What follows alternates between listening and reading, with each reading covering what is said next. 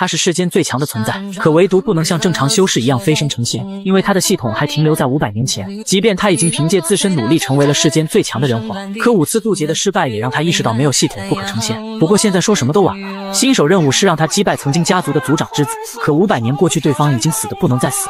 江离认为成仙之路遥不可及，于是失落的从山巅飞下。山下一众大教掌舵者，又或者活了几千年的老怪物都在现场。他们来此倒不是为了看江离失败，反而更希望他飞升成仙。掌教老祖也看得出江离的失落，可还是要挂上一副欣喜的表情，恭贺他修为大涨。与掌教们告别后，不死心的江离又唤出系统：“系统，你能不能先送我去仙界？我通过仙界就能到地府。我在地府找到江一星，然后战胜他，这样就能完成任务了。”系统依然冷冰冰的，请他先完成新手任务，通融一下赊账行不行？你总不能让我打一个死人吧？请宿主先完成新手任务。江离一边骂系统无用，一边思索如何完成系统任务，比如找到一个叫江一星的揍他一顿，或者找到一个人强迫他叫江一星，或者在江一星坟头头跳舞。当然，这些都是备选方案。最先选择的方案自然是去老家看看江一星还活着没有。说不定江一星得到几百颗延寿丹，那他能勉强活到今天，或者得到什么奇遇突破到元婴期也说不准。江离当年穿越过来后，便判断待在这个家族有害无利，于是直接离家出走。以现在的眼光看，江一星那所谓全族天赋最好，这辈子最多也就是筑基。筑基期的天寿与凡人无异，为一百四十岁。江离的老家位于大周皇朝一座不起眼的小城。这里的最强者也不过是筑基期，而江离的雕像赫然立在最中央位置。身为人皇的他，乃是九州共同的尊者，地位超然，一面即可青山覆海。从最初的无名少年到如今的谁人不识君，江离大老远便能感受到雕像处传来的信仰之力。他立刻用法术隐藏气息，来到江家。江家祠堂，江一星的供牌赫然陈列在面前。虽然在意料之中，但他还是有些失落。这时，祠堂外一位老人前来祭拜。江离略施法术，一眼便看出他是江一星的后代，不是江一星的儿子，就是江一星的孙子。不知道捶他一顿会算得上江一心头上吗？江离想了想，还是感觉不太可能。突然，他被几道吵闹声打断了思绪，原来是几位丢了孩子的父母来江府要人。可江家仗着是人皇世家，连城主府护卫也甘愿当牛做马，为他们驱赶众人。江离人都傻了，自己明明五百年没回过家，这样都不能证明他和江家淡了关系吗？可在别人眼中，他只是为了营造自己大公无私的形象做的宣传。血浓于水的亲情，谁又会相信？当江离询问一名散修那丢孩子是怎么回事，青年男人突然面色大变，令他不要多管此事，因为自己也是路过的修行者，本想帮帮这些可怜人，可一查着实把他吓了一跳。江离见状，直接拿出了道宗令，见此令牌者。如见道宗宗主本人，原来近两百多年，这里时常丢失不到一岁的婴儿。最初青城府还派人装模作样的找孩子，最近两年干脆装都不装了，直接说人手不够不找了。男人大胆猜测这些婴儿是用来修炼魔功的，不过他也没有证据。江离听后，直接飞到青城上空，以自身为中心，神识扩散数万里。然而，就当他以为一切正常时，突然在江家后院发现了一处空间扭曲，在那片扭曲的空间中走出一位老者，此人正是江离先前遇见的那位。待老者离去后，江离来到这里，轻轻一点，便再次打开空间。一进入空间，刺鼻的血腥味就扑面而来，数百具骸骨堆在山洞两旁，还有两具尸体完整的婴儿。江离眼中泛起一丝杀意，看来五百年没回来一次，确实是他的错。与此同时，江家族长见老者到来，十分惊讶，老祖怎么提前出关了？是否已经迈入化神？老者摇摇头，迈入化神谈何容易？你再给我去找几个婴儿。江族长闻言面露难色，最近丢失的孩子有点多，那些父母在城中闹得沸沸扬扬，已经开始怀疑到咱们头上了。老者冷冷一笑，那不如正好捉来一同血迹，让他们和孩子团圆。待老者话音刚落，江离便神出鬼没出现在他的面前。那你怎么不去下面和你父母团聚呢？江离二话不说，上去就是一拳。这一拳的威力直接把江家祠堂轰成了渣渣。府外众人都还以为地震呢。待烟雾散去，老者已经半死不活的躺在地上。这时系统声也随之响起：“恭喜宿主战胜江一星，新手任务完成。”见对方如此恐怖，老者急忙说出自己名讳：“你知道我是谁吗？我可是江人皇的哥哥江一星。”江离听后都快气笑了，拿着老子名号行魔道之事，你可真狗呀！出来吧，叫你来不是让你来看戏的。这时虚空中浮现出一道身影，我说你动作会不会太大了？隔壁城主府都塌了一半，此人乃是大周皇姬指。江离也撤下自己的伪装，五百年没过问家族，是我的过错。毕竟这些邪祟是用我的名号扯大旗。老者看到江离的瞬间，直接亚麻呆住。而人们对江离这张脸太熟悉了，一进城就能看见这尊青铜雕像。下一秒，众人纷纷跪倒在地。谁能想到如此小事，居然能令人皇与周皇同时降临？如此恶事放在别人诛九族都不过分，可毕竟这是人皇江离的家族，诛九族谁有那个本事？于是周皇基指决定进入时间长河，看清他的所作所为，再做定夺。大周皇室精通时间之道，可以追溯未来与过去。事情果然跟江离说的没有任何出入。修行魔道，人人得而诛之，其他包庇的城主、官员一律拿下，择日处以形神俱灭之法。江离这时开口：“最后，我再问你一个事，你是从哪里得到血祭之法？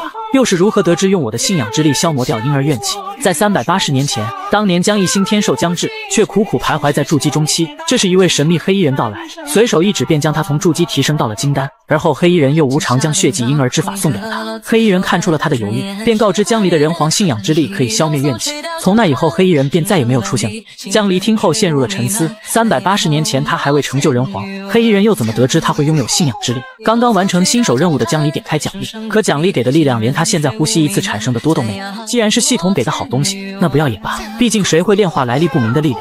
接着他又用两分钟看完其他奖励，结果是又浪费了两分钟。这些无一不是给炼气期用的。江离现在也就盼着系统能让自己真的飞升仙界。新任务发布：加入华云宗后，华云派大长老的孙子云波看你不顺眼，处处刁难你，请你用压倒性的力量战胜他。这家伙江离倒是有点印象。正当他准备前往华云宗时，突然一道通讯符出现在他的面前。此人乃是江离座下第一统领，被打成这副模样，让江离都吓了一跳。他可是知道孔虎有多强，是单用肉体就能和渡劫气抗衡的狠人。九州能把他伤成这样的一巴掌数得过来。江离试探性的问道：“你又和你媳妇吵架了？”虎子摇了摇头：“那是有天魔入侵吗？”虎子再次摇了摇头：“别猜了，江哥。前段时间孟姜黄找到了一个美人，可这孟姜黄也不与那名妃子行男女之事，只是单纯的看着。而大魏皇朝的魏皇和孟姜黄关系极好，魏皇出关后便好奇的想要看看此人究竟如何貌美，能让孟姜皇至此。可没想到这一看就出事了，魏皇竟然说让孟姜皇把美女让给他，临时功法国土任由孟姜皇挑选。孟姜皇当然不愿意，最后两人甚至动起手来。这还不算完，我去劝说，没想到两人最后还说在战场上见生死。江离是统领九皇的最强人皇，劝阻两个皇朝之间的战争并不是难事。可他有些疑问，虎子，你这伤是怎么回事？他们两个应该也打不过你啊，这才是问题所在。人皇殿职责就是维持九州整体稳定。虎子知道魏皇和孟姜皇的约战后，立即赶到想要劝解双方，谁知道他一见那女人，整个魂儿也被勾走了，当时差点想把那女人抢走。情急之下，他没有别的办法。只能狠狠地打自己一顿。江离闻言，表情逐渐严肃。系统的任务看来要暂时延后了，我这就过去。江离放下这句话，立即赶往孟姜皇朝。离得老远，他就看到天上激烈的打斗，可怎么看着像是三个人呢？近看，其中一人正是虎子。他咆哮着叫道：“美人只配强者拥有。好家伙，让你来劝战又被迷上了。”江离瞬间来到这三人上空，一巴掌把这三个失去理智的家伙拍到土里，随后不留情面的骂道：“幸亏你们神智尚存，知晓战斗不能波及他人。你们要是敢在国都交战，我一巴掌把你们拍到地府去。”虎子不敢说什么，只能嘿嘿傻笑。孟姜黄和魏黄见到江离，也赶忙行礼：“能否让我见一见那名奇女子？”江离的要求，孟姜黄自然不敢拒绝。红衣美人安静地躺在金床熟睡，那五官精致，不似人间该有的美貌。即便江离那波澜不惊的心境都有所动摇，可此人他见过，准确的说是见过被列为禁品的画像。正在江离思考之时，孟姜黄这边又有控制不住的架势。随后他被江离一手拎出金屋，这才回过神。此人你是从哪找到的？孟姜黄当初吸兽意外在一棵树下遇见，他自觉肉体凡胎不配触碰美人，便用虚空托力把美人带回皇宫。江离见他什么也不知道，便告知三人，此女关系甚大，我要去一趟红尘净土。还望二位国君守好本心，不要被美色沉迷双目。孔虎，我回来之前别让任何人进去。江离临走时还是不放心，于是捏碎玉片布下大阵。九州西域有两大宗门最为瞩目，一则是有慈悲为怀的佛门，另一个便是只有女子的红尘净土。传言红尘净土的祖师美貌万古无一，佛祖亦为之动摇。可红尘净土近乎隐世，少有人外出。但江离却是与其有一段因果果。护宗大阵开启，只有两位女子前来。一人满脸厌恶，一人笑脸盈盈。前者便是净土的掌教青玉道姑，而后者则是红尘净土的静心圣女。圣女无论修为和门中威望，均已超过其师尊青玉道姑。可她曾经却偷偷跟江离说道，之所以不愿意当掌教的缘故，只有一个，那就是静心道姑的称号不好听。静心圣女笑盈盈的迎接江离，与平日拒人千里之外的笑容大不相同。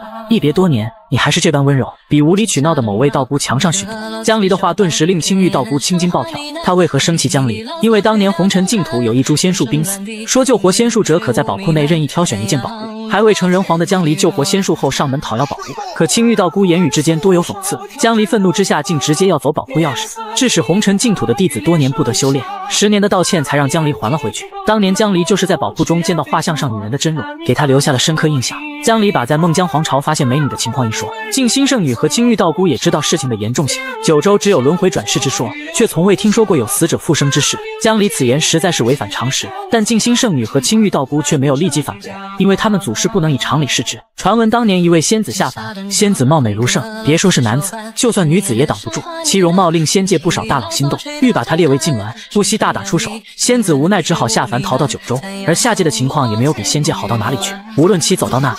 便会引起那里的争端。不过和仙界不同的是，仙子终究是仙人，在九州是无敌一般的存在。就算是有因他而起的争端，也能很快镇压。起初人们以为仙子只是单纯的貌美，但后来才发现，只要见过仙子后，不分年龄、不分性别、不分物种，全都为之癫狂。如今女人再次现身世间，身为人皇的江离为了世间稳定，他建议红尘净土去陵墓查看下祖师的仙体安在。而江离拗不过静心圣女，便一同随他们来到墓室。几人刚到，便发现水晶封印已经被打开。祖师死前留下的封印，也只有他自己能够解开。静心圣女迅速做出判断，肯定是祖师复活后自行离开了。虽然有所猜测，但真有死者复生发生在眼前，即便身为人皇的江离也是十分吃惊。孟姜皇朝紧挨着红尘净土，两人很快便见到了沉睡的仙子。一见面，静心圣女就感受到与女人那种血脉相连的亲密感。不然，就算是女性，也难挡红尘仙子的魅力。红尘净土美女众多，其弟子来源一是有师长下山游历，把中意的女子收为弟子；二是食用净土仙桃可以令女子怀胎。静心圣女便是祖师遗留下来的后代，所以才会不受控制。江离随后将两位帝王拉了出来，他是红尘净土的祖师。我与静心圣女商量了一下，于情于理都该把他送回红尘净土。不知你们二位意下如何？谁料平日唯唯诺诺的两位皇帝，此刻敢忤逆江离。江离也知道女人的魅惑，并没有怪罪两人。反正遇事不决，拳头最大。两位帝王虽然有着滔天的修为，可仅是三息过后，便奄奄一息倒在了地上。收拾完两人，江离与圣女将其带回了红尘净土。青玉道姑原本不信邪，满怀憧憬的心情，想要见一面红尘师祖熟睡的仙颜，但很快憧憬心变为占有欲，然后被静心圣女和江离联手请了出去。他不明白为什么江离没有事情，反倒他这个长相像个外人。洞府内，不知是换了环境的缘故，红尘仙子竟然慢慢苏醒了。当他睁开美眸的刹那，江离觉得整个人一阵恍神。一旁静心圣女赶忙向师祖行礼，三十六代子孙静心拜见祖师，江离也紧随其后。七十二代人皇见过红尘仙子，红尘仙子眼神迷离，人皇是什么东西？他仿佛失忆一般，只记得自己醒来后走下山去，最后累了找到一棵大树睡下，醒来便看到一名男子痴痴的看着他傻笑，问那人话他只会笑。仙子觉得无趣，便又睡下。江离询问他还记得仙界的事情吗？师祖摇了摇头。江离眉头微皱，总觉得红尘仙子的话中有什么问题。下一秒，他用灵力构建出一幅红尘净土的立体地图。您醒来后是沿着这个方向走的，对吧？红尘仙子点了点头。问题就出现在这里。红尘仙子接连路过两个小镇，凭她的容貌，小镇的人怎么可能不知道？江离说到一半，静心圣女就反应过来了，不应该呀。每座小镇都有一位金丹期师妹坐镇，他们怎么会出这种问题？江离瞥了静心圣女一眼，有些嫌弃对方的智商，随后便化作流光飞向那两座小镇，只留下静心圣女气得跺脚。他从储物戒中拿出一本书，狠狠摔在地上。说好的男人喜欢傻一些的女孩子呢？静心圣女赶忙化作流光跟在江离身后，丢在地上的书面上赫然写道：“让男人主动的一百种方法。”待两人来到小镇，一片欣欣向荣之景显得如此正常，平常修士根本看不出什么问题，可在江离眼中却显得十分诡异。静心圣女更是脊背发寒，因为他们发现整个上河镇竟没有一个活人，怪不得令仙神都要动摇的红尘祖师来到这里没有掀起一点浪花，此人怎么可能对美人有感觉？两人来到一家酒楼，这些人只凭肉眼根本看不出与活人的区别。静心圣女用神识仔细打量了店小二，发现在他的丹田识海处各有一只蛊虫，一只控制行动，一只控制思维，是极有技术的控尸手法。江离询问最近有没有特别漂亮的仙子路过这里，店小二以为这两人是红尘净土派来调查的，所以据实回答说有。当时他还想拉客呢，但被这里坐镇的园林仙子阻止了。这么说来，园林师妹见到也没有什么反应。静心圣女此刻峨眉微蹙，难道金丹期修士也神不知鬼不觉的死了吗？这时江离笑眯眯的问道：“你知不知道你已经死了？”店小二一脸茫然，随后江离摆了摆手，让他接着去忙吧。他再次用神识扫描周围的八镇，只有上下河镇的人死了。走去下河镇，我察觉到下河镇有一位金丹女修，应该是你们的人。对于上河镇的园林，静心印象不深，但对于下河镇的杜心儿，他却印象深刻。此时杜心儿盘坐在用廉价的聚灵阵中，只是不知道最近几年是怎么回事。他感觉灵气进去身体多少就出去多少。杜心儿自嘲，觉得自己这种人留在门派也是累赘。这时一道清脆的声音在他耳边响起：“谁说你是累赘？”此刻静心眼眶中的泪水在不停打转。几年不见，如今已是阴阳两隔。杜心儿同样是一具会动的尸体，是师姐对不住你，是师姐失职。静心圣女抱住杜心儿，放声痛哭。虽然不知道发生了什么，但杜心儿依旧细声细语的安慰静心圣女。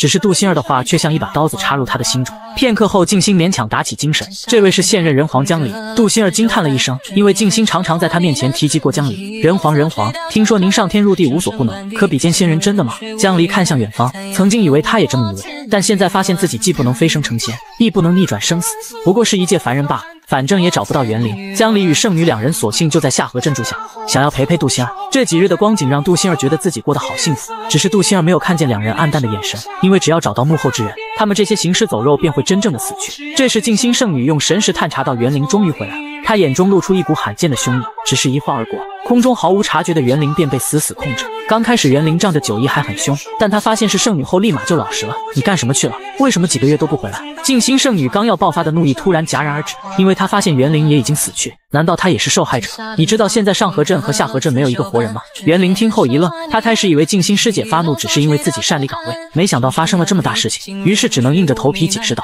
有次几个刁民闹事，他一着急把几个刁民杀了，结果就有人嚷嚷着要去告宗门，怕宗门发现，他就用尸骨控制了几人丹田。”不久后被杜心儿师妹看出端倪，袁灵无奈下将其杀害。袁灵恳求师姐饶他一命，你知不知道你已经死了？袁灵同样也是一具被尸骨控制的尸体，只不过他自己浑然不知。而江离此时理清了大致脉络，以袁灵的修为，大概只能控制尸体的行为，但控制不了思维方式。应该是随后有人把袁灵杀死，再给所有人了用上识海蛊虫。这时静心圣女笑盈盈的让江离离开这里，江离被这个笑搞得有些头皮发麻。片刻后，屋内传来撕心裂肺的嘶吼。最后，静心圣女用法术清扫干净现场的鲜血。不过，刚出门便听见江离给她的传话：杜心儿那边好像出了问题。两人迅速来到现场。江离指了指一旁的灵木，可静心圣女顺着看去，并无什么异常。江离劝他不要用神识去看这一缸灵米，不然心里会承受不住。偏偏江离这么一劝，他反倒是要用神识扫描。这玩意儿竟还能抵抗神识。静心圣女加大神识强度，可当他透过灵米表皮看到其中所隐藏的东西，整个人差点吐了出来。这哪里是一缸灵米？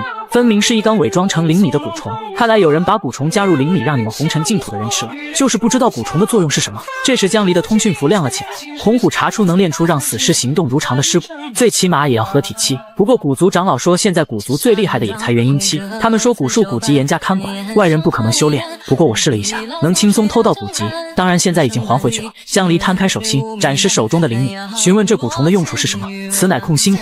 只要让人服下，即便日后成为合体化神，蛊虫的主人也能控制心神。因此蛊族有祖训，禁止培养控心蛊。红虎的话音刚落，静心圣女哐当一声跪倒在地。她不敢细想红尘净土有多少人体内有控心，和其他蛊虫一样，要么杀死蛊虫主人，或主动解开，要么成就渡劫修为。渡劫时的雷劫会摧毁蛊虫。江离将通讯挂断，随后来到圣女身旁。幕后黑手暗中操控几十年，直到现在都没有发动控心，说明对于幕后黑手而言，时机还未成熟。有我在，任何事情都有挽回的余地。江离低沉而严肃的语气中带着不容置疑的信心，让静心圣女逐渐恢复常态。可当两人准备回到红尘净土之时，却被护宗大阵形成的光幕拦在外面。光幕后一人正冷笑地看着迟来的两人，此人正是被红尘净土逐出的长老玄哀道姑。玄哀道姑秘密筹划了多年，可当江离来到这里的时候，他慌了。他自负自己实力很强，但面对当代人皇，那可真是连跑都不敢跑。身为九州人，谁没有听过江离的传说？那可是金丹斩元婴，合体杀渡劫的绝世狠人。历代人皇虽说战力超群，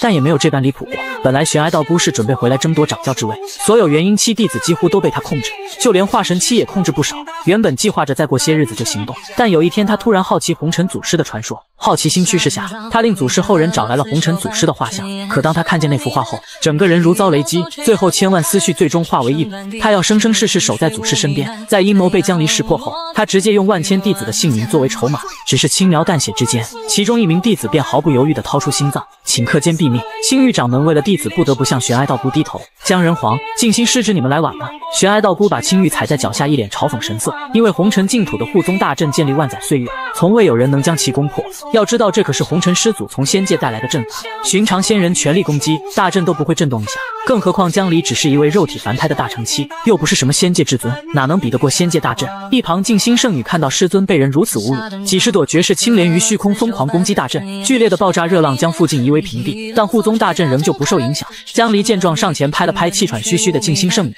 换我来。”简简单单三个字透露出江离的信心。玄哀道姑仿佛听到很好笑的笑话：“江人皇，我敬你为九州做的贡献，也不想辱你。退下吧，不然你无敌的神话就在今日被打破。”江离理都没理他，而是向被踩在脚下的青玉喊道：“青玉掌教，今日我救你一命，你也别再记恨我，咱们一笔勾销如何？”还未等青玉说话，江离就挥拳抡下，万年未损的护宗大阵此刻就像镜子一样碎裂开来。玄哀整个人眼珠子都快蹦出来了，青玉也是人都傻了。见江离携静心圣女一步步向他走来，他连忙指着那千余名弟子，这些弟子都被我种下控心蛊，只要我一个念头，他们都会自杀。你动作再快，能快过我一个念头吗？江离确实没把握快过一念。玄哀道姑听他这么说，松了口气。他告诉江离，自己的要求也不多，只要让他带着红尘师祖离去，一切都好说。可江离却自顾自地说道：“但我何必要快过一念？”玄哀道姑孤见势不妙，连忙命令一些弟子自杀。就在这千钧一发之际，只见江离随手一挥，那上千名弟子体内的蛊虫却被瞬间斩灭。那刚准备自杀的弟子立刻不再自杀。玄哀再次人傻了，这特么连剑气都没有砍出来啊！抱歉，我剑法愚钝，只会此一招。江离吓得对方一屁股坐在地上。此招名为心剑，余念中起，于识海中落。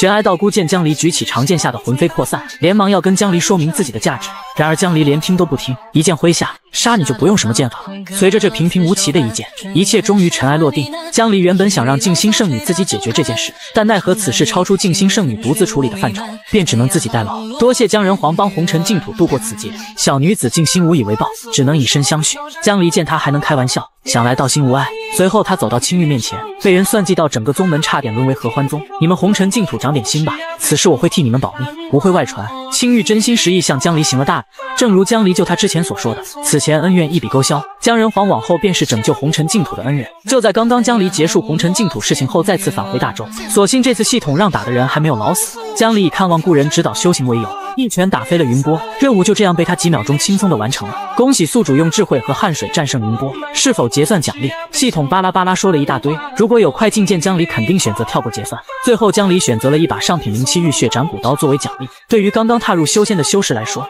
上品灵器是极为罕见的武器。可别忘了，江离是大成期啊！这时系统让他给菜刀滴血认主。江离看着系统，陷入了沉思。你确定能滴血认主吗？请不要怀疑本系统的专业性。江离闻言毫不犹豫地咬破手指，可当那滴鲜血落在菜刀表面，霎时间菜刀竟不断颤抖起来。接着菜刀直接从上品灵气一路飙升到了爆炸灵气，砰的一声，菜刀承受不住江离一滴血中所蕴含的生机，直接爆炸开来。看着面前的爆炸，江离有些无语。我就说不能滴血认主，你还不信？我说你一句废物系统，没意见吧？系统假装没有听见江离的抱怨，请宿主接收地图碎片。系统又把一张泛着金色光芒的地图碎片给了江离。金色光芒慢慢消失，逐渐显露出了碎片样子。此乃前缘秘境地图的三分之一，完成后续任务可获得剩余碎片。江离毫无波澜地从储物戒中拿出一张完整的地图，随后他又给系统指了指秘境的所在。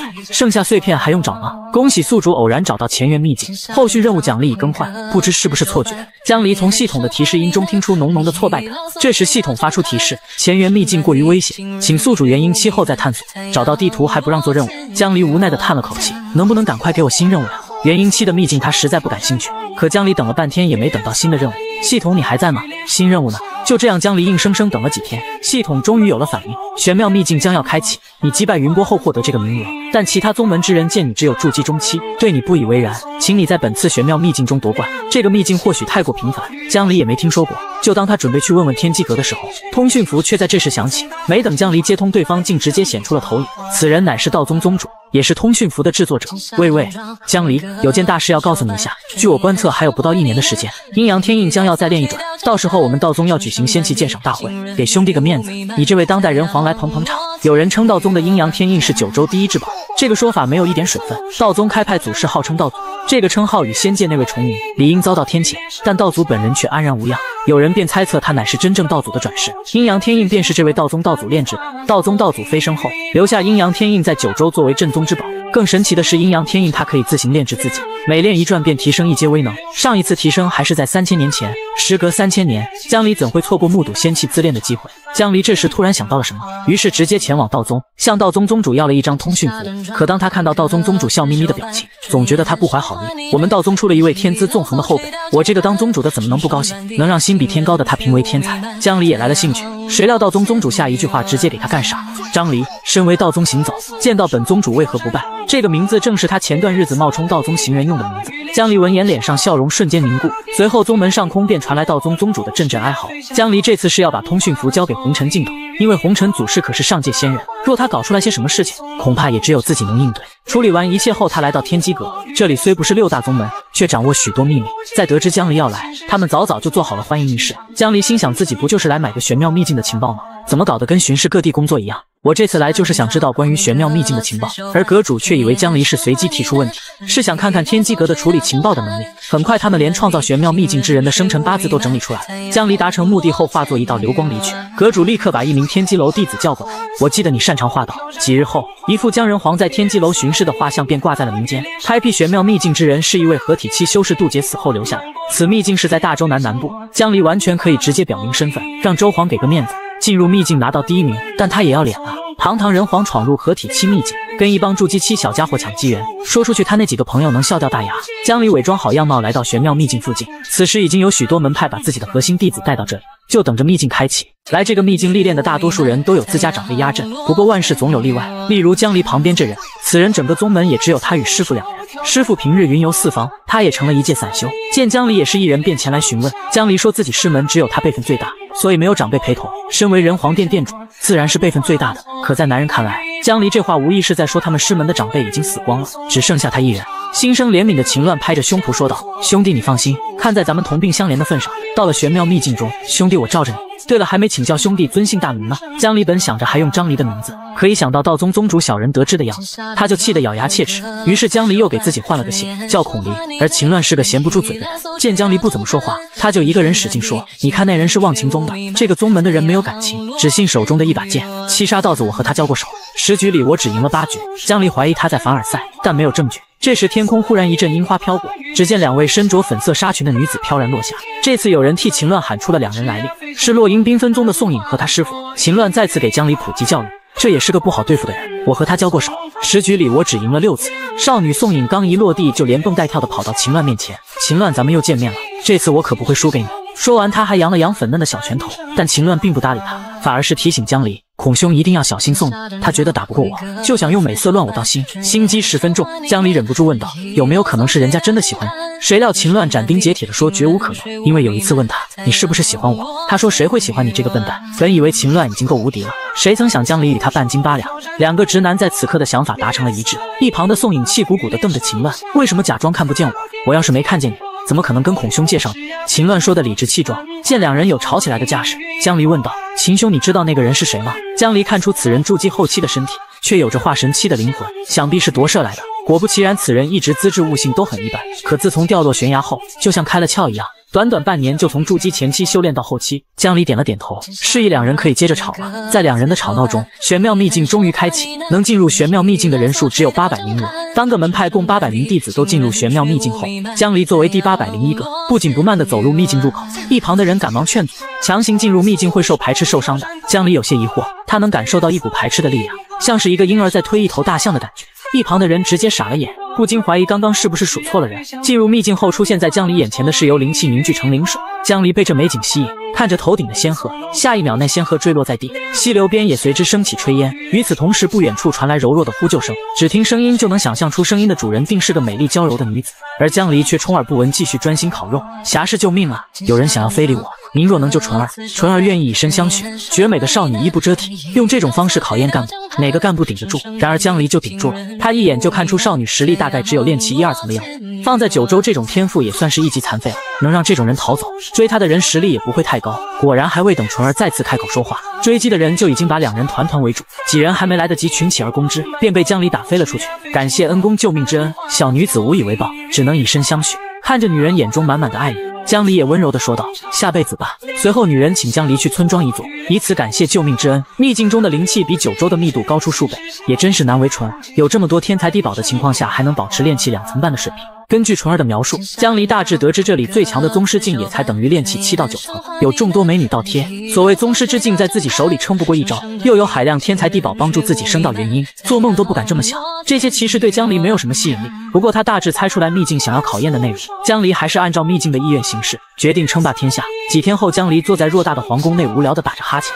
此地并非久留之地，我要走了。纯儿听后就哭了起来。我知恩公并非此界之人，但我们就没有一点让恩公留念的地方吗？江离实话实说，没有。可后宫佳丽三千，任君采撷，难道恩公不心动吗？江离直接一句话说的他哑口无言。我见过红尘仙子，也不知道纯儿是从哪听说过这个称号的。他没有放弃，继续说道：国库中的天才地宝，难道不能吸引恩公吗？江离没有回答，默默拿出一枚造化九转仙丹。若非成仙天梯已断，单凭此丹就能立地飞升，其价值不可估量。纯儿显然识货，他此时此刻都想说：仙丹给我，我和你一起回九州好不好？江离叹了口气：我身为当代人皇，九州共尊，怎么想也比当一个秘境之主好吧？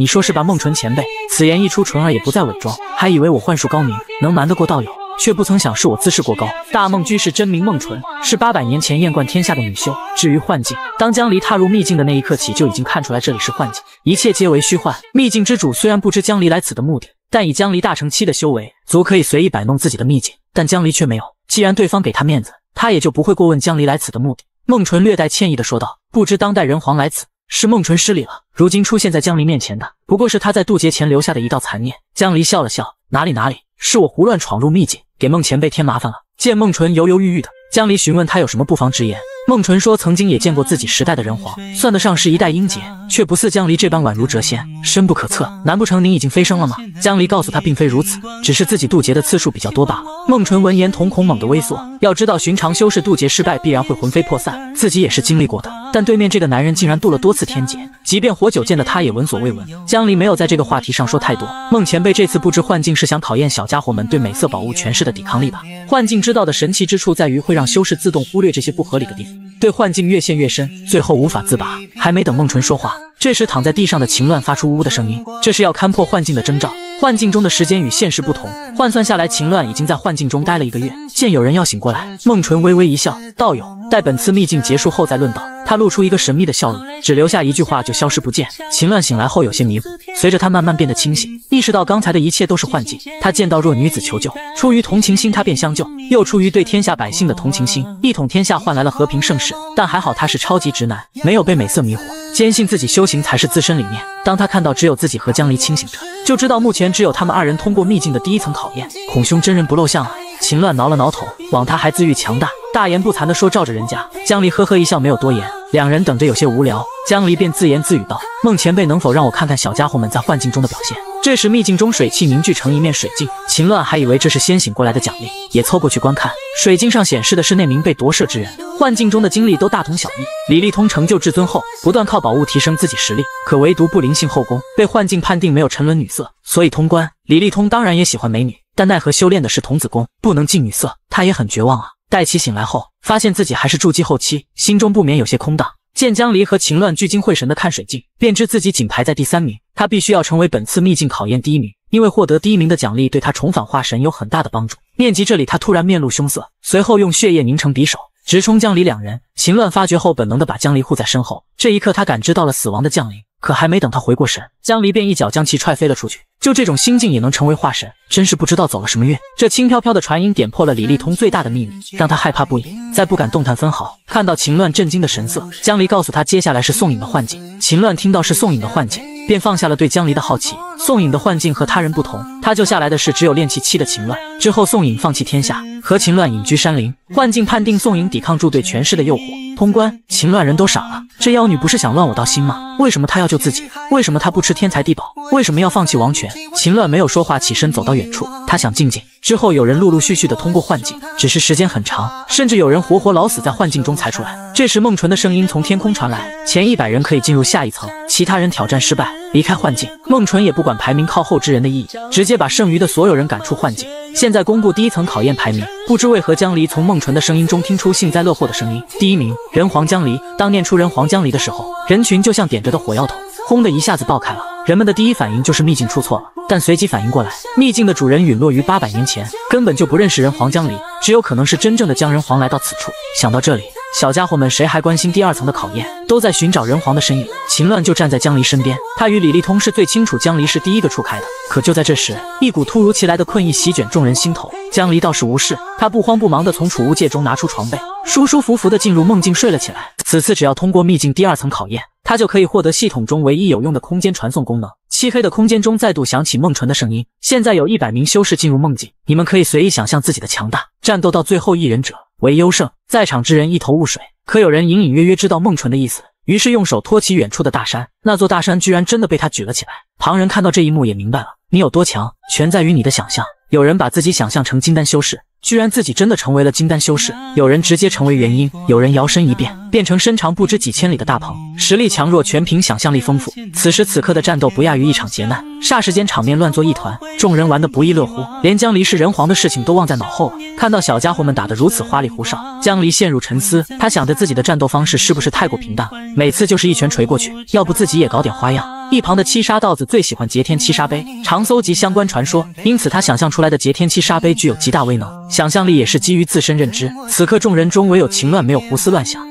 他只是不断思考什么样的金丹才是最适合自己的。单凭这一点，他就要超过在场所有人。秦乱见李富贵如此，便嘲笑起来：“李富贵，你充什么大头蒜？真以为自己是七杀道人了？”七杀道子听到秦乱还用俗名称呼自己，不禁大怒。他随意挥出一道杀气剑影，便要斩下秦乱多事的舌头。这时宋颖挡在了秦乱面前，丢出一朵虚幻青莲挡住剑影。江离有些无语，因为这宋颖竟身穿红尘净土的道服，以青莲为武器，看来他十分崇拜静心圣女吗？面对合体期的宋颖，七杀道子认真起来。今日他必斩下秦乱的舌头。人皇来了也挡不住。宋颖用层层青莲保护两人，但终究防御有限。最后在即将被斩杀之时，江离用灵气化解了两人的冲击力。秦乱和宋颖见是江离救下自己，连忙行礼感谢人皇救命之恩。江离摆摆手，算不上救命，梦境中死不了人的。江离又转过身，笑呵呵地对七杀道子说道：“你火气很大吗？”七杀道子面对人皇自是不敢嚣张，他回应只是想试试自己的潜力罢了。江离叹了口气，变回原本的模样。如何？你想和我交手吗？他看得出七杀道子跃跃欲试的眼神，请人皇指教。七杀道子摆开架势，江离也生气，年轻人嘛，不知天高地厚也正常。自己在筑基期的时候碰到这种事情，他也敢挑战上一任人皇。此刻劫天七杀杯释放出的剑意，连空气都被切割破碎，七把仙剑垂直悬浮在七杀道子身边。只见七杀道子握住其中一把仙剑，大喝一声“杀”字。江离面对这一剑不闪不避，伸出大拇指和食指，轻轻捏住七杀仙剑，仿佛捏着一片鹅毛。七杀道子瞪大双眼。不敢相信这一幕，他也没想着砍伤江人皇，但最起码也让对方感受些压力，好吧？怎么会如此轻易的捏住仙剑？有点东西。一般的合体期修士挡不住这一剑，但伤到渡劫期修士就够呛了。江离点评后，轻轻一抛，就把仙剑连带着愕然的七杀道子一同扔向身后。七杀道子出招动静太大，惊动了战斗酣畅淋漓的其他人。要是放在以前，他们肯定会怀着十分崇拜的心情拜见江离。现在他们虽然依旧崇拜江离，但也觉得自己很强。在这个念头下，他们对江离的崇拜之心下降许多。诸位，你们就不想让江人皇指点自己吗？这可是千载难逢的好机会。被扔飞的七杀道子给了大家一个合适的理由。江离笑着应下，你们两人也可以加入他们，与我交手。宋颖有些犹豫，但秦乱却知道，能见到人皇已是不易，能得到其指点更是千载难逢的机会。于是两人加入到跃跃欲试的人群中。随后率先动手的竟是被夺舍的李立通。他之前被江离一脚踹飞，认为对方是仗着境界欺他。如今他想象自己已经突破合体后期，可下一秒江离又是一脚，同样的剧情再次发生，只是这一脚飞得更远了，人也口吐白沫昏了过去。此时众人热情被当场浇灭。要知道李立通可是在他们中能排进前五的存在。就在无人敢上前之时，人群中突然有人喊了一嗓子：“对付人皇不用讲道义，大家一起上啊！”秦乱看得很清楚，刚刚又是七杀道子喊的。喊完后就藏在人群里。装作与自己无关。霎时间，天空中四爪金龙摇身一变，恐怖的剑势仿佛要重塑此界。一位掌控雷劫之人在江离上空凝聚。江离见到这五花八门攻击，嘴角一勾，真是群有活力的小家伙。羡慕你们还有梦想，不像我，想不出比自己更强的存在。江离仿佛没看见这些攻击，而是自怨自艾。虽然是在梦境，但江离却没有变得更强。究其原因，是他无法想到如何才能变得更强。他只差进入仙界，把一身灵气转化成仙力，但仙力是什么样子的，他想象不出来。而且就算是真仙来了，他也有把握击败。要说变成哪个种族，自他成为人皇后，最强种族的名号就落在人族头上，再也无人撼动。要说掌握什么神通，基本上他一学就会。要说掌握什么仙器，他倒是有一件，但因为没有敌人值得动用的缘故，现在已经蒙灰了。要说掌握什么规则，他杜雷杰跟洗澡一样。时间法则、空间法则对他来说太难，根本想象不出来。人们听到江人皇的烦恼，顿时下手又加重一分。就连最崇拜人皇的宋颖都有打人的冲动。世间令无数人畏惧的莫过于天道雷劫，可男人渡雷劫就跟洗澡一样。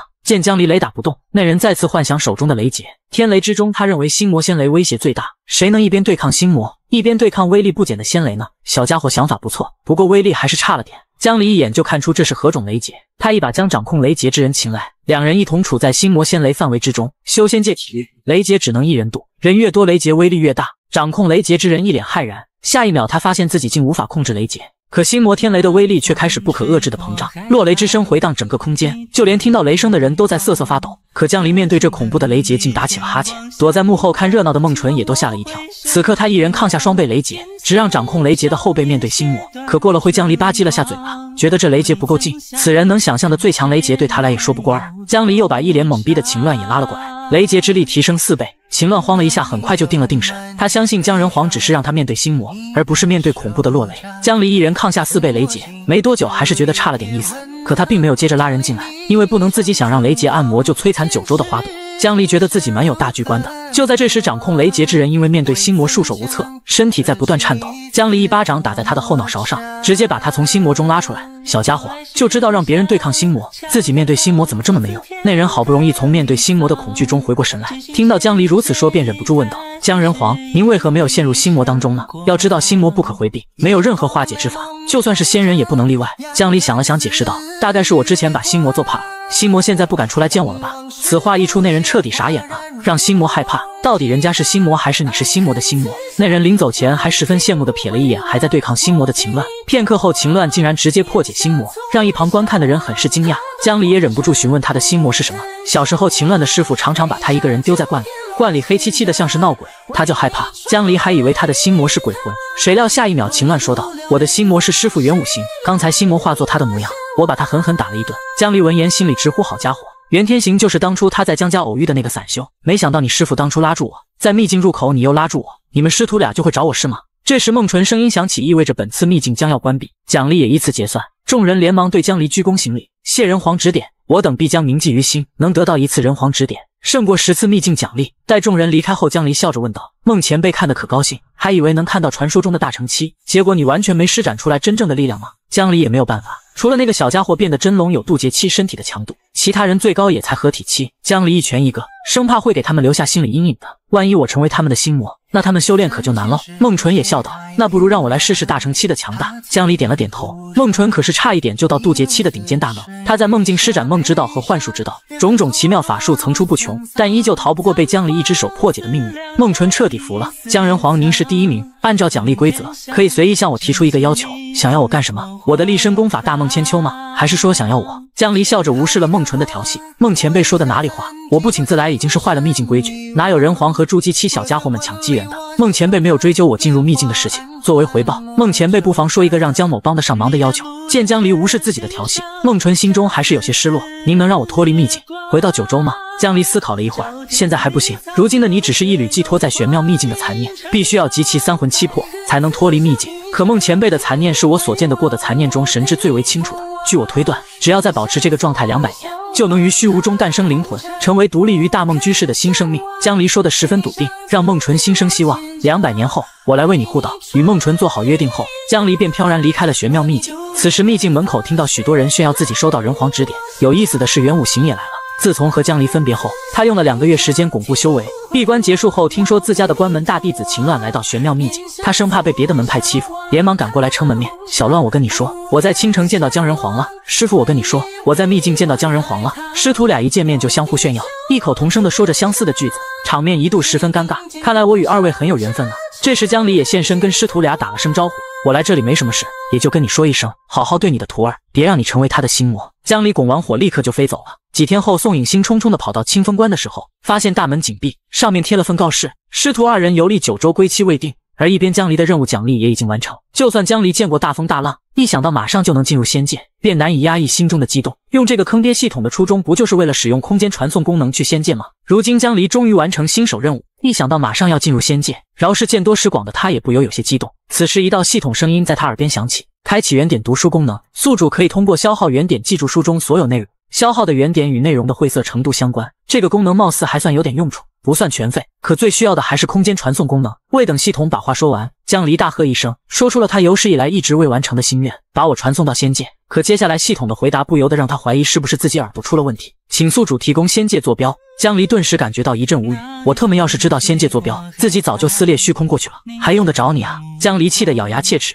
自从他获得这个系统以后，就没有从这里获得过一样有用的道具或功能。商城里的东西还没有自己这里全，毫无用处的地图碎片，自己一滴血就撑爆的极品灵气等等，就这也配叫逆袭系统？一怒之下，江离打出一拳，下一秒空间直接裂出一个大口子，里面黑洞洞的，不知距离另一处世界有多远。他百年前就委托须弥山老佛寻找仙界坐标，因为他能横渡虚空，虚空中的罡风乱流之类的对他而言根本算不上威胁。江离之所以一直不敢轻易尝试横渡虚空，是担心自己迷失了方向，到时候仙界找不到，九州也回不来，那可就惨了。就在这时，系统声音再次响起。检测到未知世界是否进行传送？突如其来的系统提示音让江离一愣。要知道，仙界统御的世界恒河沙数，在每一个世界都建立了成仙天梯，只要每个世界的人达到成仙的标准，就能成仙。反应过来的江离指了指那空间裂缝，难道说对面有其他世界？系统很快便给予了他肯定的回答。考虑到系统的坑爹属性，江离再次问道：“那去了还能传送回来吗？倘若自己真是回不来了？”便只能学习鲁滨逊写一本人皇漂流记了。系统已经记住九州世界坐标，并告诉他可以传送回来。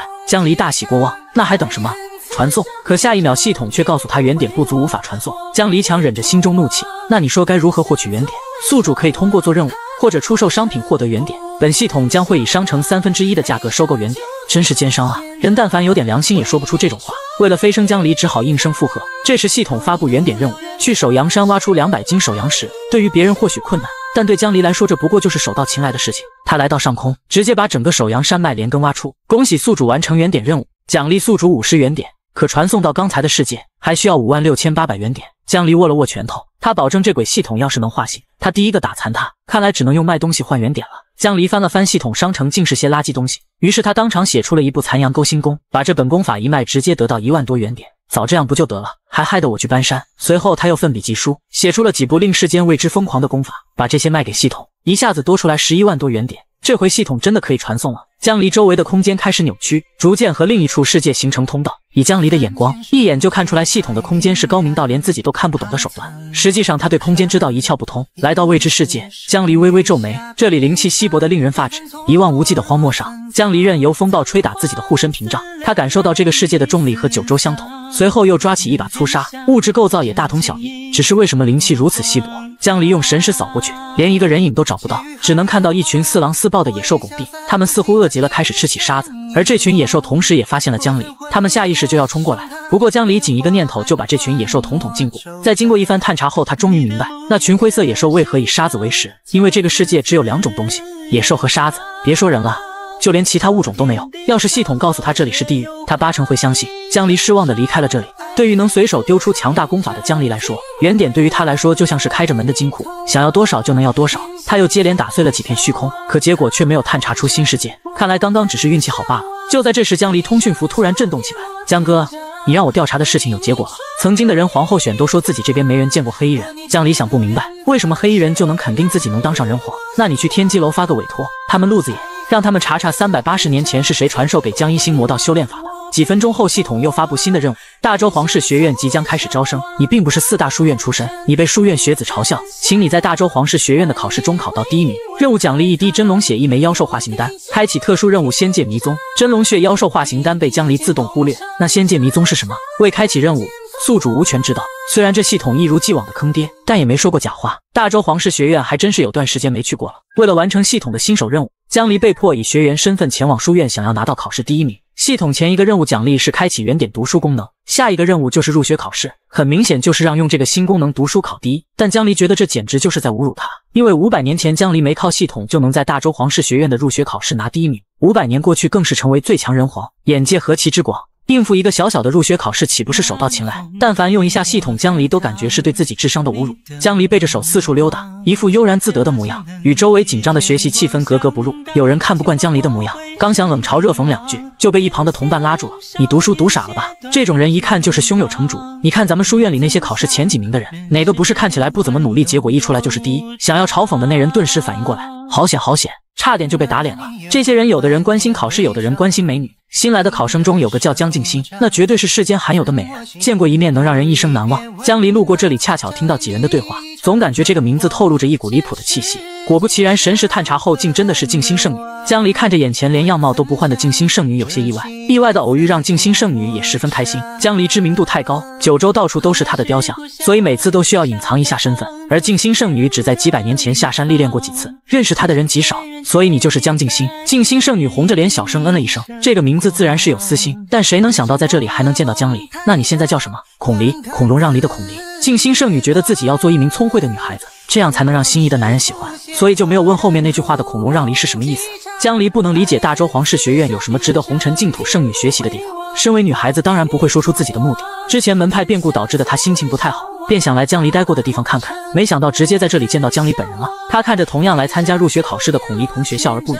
江离只能以回忆童年为理由搪塞过去。我记着你是二十岁进入学院的。孔离同学童年很长吗？静心圣女扑哧一笑，也不再为难江离。既然咱们都来参加考试，不如比一比，看看谁才能得第一名。江离也来了兴趣。两个人打赌，输的那人要答应赢的那人一个条件。两人亲密的击掌，让前来偷看的几名男生极为羡慕。说起来，红尘仙子醒过来了吗？静心告诉江离醒过几次，但还是睡的时间比醒的长。祖师醒来以后也不怎么说话，就是在仙桃树停留的时间很长。江离已经跟孟姜黄和魏皇打过招呼了，随后又再次嘱咐静心，可千万要把红尘仙子的事情保密。这要是透露出什么消息，指不定当年哪个见过红尘仙子的老家伙就要冲进红尘净土。静心当然明白，但祖师真的要想跑出去，世间恐怕除了江离，没人能拦得住。两人在男同胞们羡慕的视线中走远。咱们要不要去请天杀阁的杀手？我没钱，我也没钱。最后几人还是算了。天杀阁的灭顶之灾差点在两位路人的对话中爆发。回到房间后，江离拿出入学考试的参考书，然而结果让他有些无语。他记得五百年前参考书还是些散文，现在则都成了江离著。十本修仙参考书，八本是他自己写的，剩下两本还是关于他的书的注释。知道的以为他是学院的荣誉毕业生，不知道的还以为他是出卷老师呢。谁让他成为了世间至强的存在？学院选择江离所著的书也在情理之中，这还能输？江离已经在想要给静心圣女提什么条件。考试当天，江离信心满满的来到考场。当他看到试卷的那一刻，觉得自己已经稳了。这考题像极了语文考试阅读题。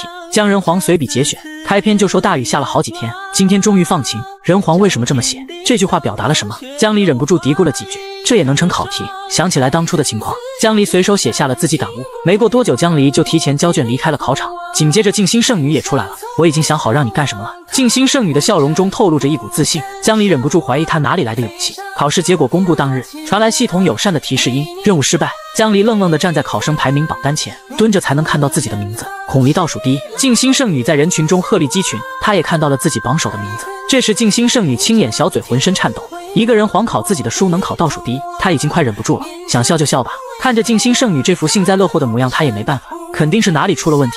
江离理智分析原因，随后准备去找考官算账，问问是不是判错了。如果只是倒数第一找那院长肯定不会搭理。但江离身旁还有真正的第一静心圣女，两人如愿见到了院长。江离强压着怒火问道：“你们是不是判错了？为什么我会是倒数第一？要是考个第二，他也认了。但你给我来的倒数第一是怎么回事？你叫江离是吧？你还有脸问？”李院长立刻用法术将其试卷投放到空中，让大家看看你写的都是什么玩意。然而，一旁吃瓜群众看完后却都觉得写的还不错。见众人疑惑，李院长便怒了：“你们可知这些书都是姜仁皇毕生心血，岂能用自己随随便便的话替换？以你们现在的能力，还不足以理解姜仁皇书中的深意，因此就要求你们要死记硬背，先背熟再理解。”李院长眼中容不得别人质疑姜仁皇分毫，他拿一道题举例：大雨下了好几天，今天终于放晴了。作者为什么这样写？江离竟然写连日下雨，偏偏那日是晴天。而这句话，李院长当年可是琢磨了好久才解惑出来。他认为姜仁皇必有深意。肯定是修行中会有很多困难，就像这连日的雨一样，但总会有雨过天晴的一天。我们也一定能克服困难，继续修行。